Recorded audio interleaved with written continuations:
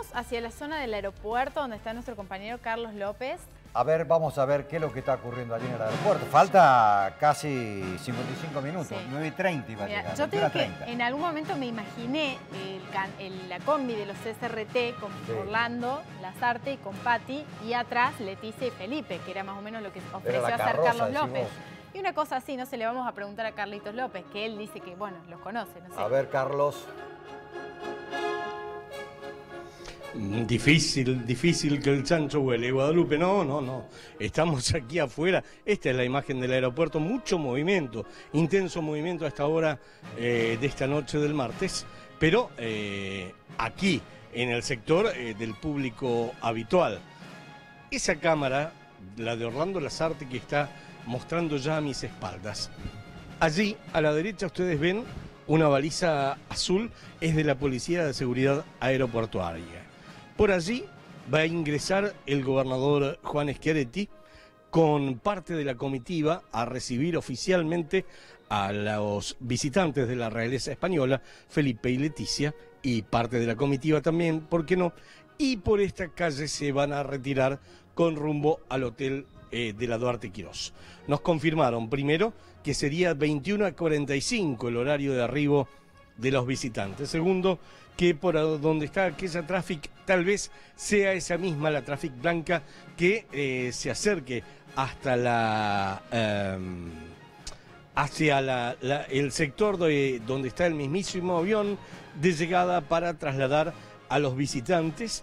El gobernador en algunos minutos va a venir aquí al aeropuerto, se va a dirigir a ese sector aproximadamente para ahí adentro. Hay una sala VIP del aeropuerto Ignacio Ambrosio Tarabela eh, y allí va a esperar hasta que le comuniquen que efectivamente está en zona de descenso ya el avión de la realeza española trayendo a Felipe VI y a Leticia.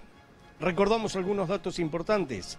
21 a 45, horario aproximado de arribo, según lo que nos decía la misma Policía de Seguridad Aeroportuaria. Segundo, son mil integrantes de diferentes fuerzas de seguridad los que van a hacer el operativo precisamente ceñirlo sobre los visitantes.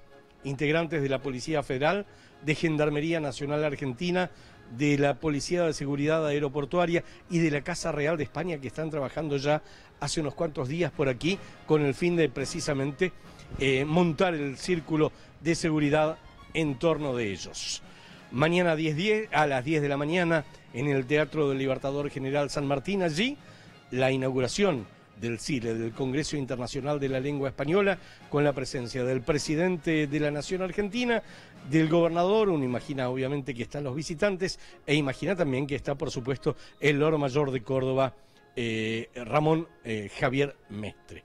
Luego de ello, habrá un almuerzo en el Congreso, eh, de, en el Salón de Convenciones, que inaugurado hace muy poquito nada más, para 500 personas, pero, atención a este dato también, podría anticiparse unos minutos el almuerzo para la hora que estaba prevista en función de que el presidente debería volver muy temprano a la capital federal para continuar con su agenda. Esto es, esto significa que estarían unas 16 horas aproximadamente en suelo cordobés Felipe VI y Leticia. Esas luces que están por allí blancas al fondo que está tomando Orlando Lazarte son las luces ya de pista, donde está al costado, que están marcando el camino hacia los portones por donde ingresaría Schiaretti y volvería para ingresar a esta ciudad con los visitantes de la realeza española, con los reyes de España Felipe VI y Leticia. Más o menos lo que le podemos contar. Sí, se va cargando ya de mayor seguridad a través de la Policía de Seguridad Aeroportuaria este sector también en las afueras del aeropuerto. Guadalupe, si vos me preguntás, me voy enseguida del informativo nomás. Pues no sé si pasás, mira.